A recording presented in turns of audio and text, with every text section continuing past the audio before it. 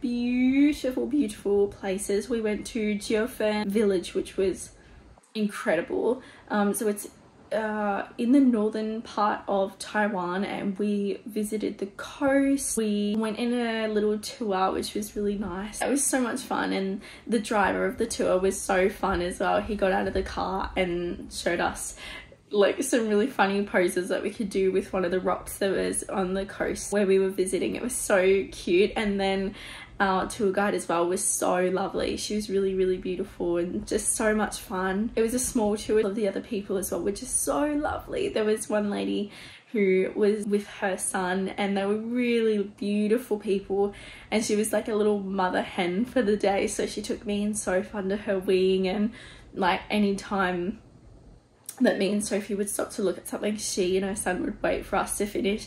She said, we can't get lost, like, we'll stick together, stick together. It was just so precious. It was so heartwarming. She was really beautiful. Um, and then, yeah, we got to try so much food um, and, and try so much tea. And oh my gosh, it was really beautiful. The weather actually really matched the vibe of everywhere that we went today. Like, all the fog in between the mountains and even like walking down the stairs of Jiufen. The fog was just, oh, it made it so mysterious and made it so much more beautiful. And then we got back and you know, I have to say this accommodation, the location is so perfect. So we're really close to Dongmen station, which is literally like two minute walk away, not even like one minute so close. It's such a convenient station to be. And then we got back, we've had some more food. And then my beautiful friend who lives here in Taiwan bought us some more food to have for dinner. Fried food, uh, so good. Feeling really, really, really grateful to be here and yeah, really grateful for my friend as well. Oh my goodness, she's just like the best. So, so beautiful. So, oh yeah, I'm really happy.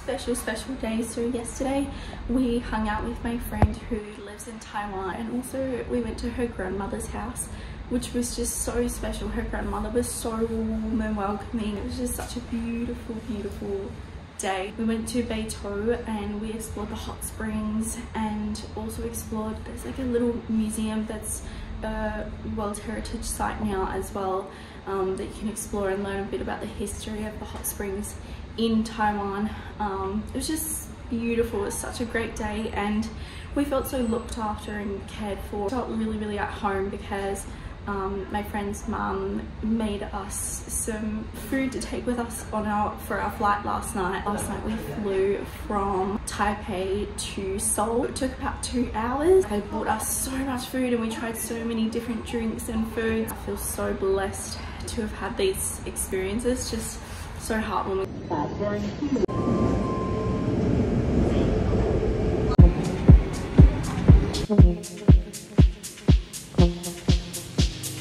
Actually,